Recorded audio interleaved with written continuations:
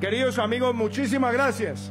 Y que este año 2022 sea el año de Colombia, el año donde en equipo sacamos adelante a nuestro país, donde en equipo hacemos las transformaciones sociales, donde en equipo seguimos cerrando las brechas.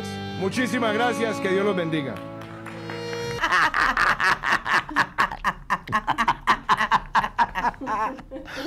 ¿Te lo imaginas? Está grotesco. Café picante.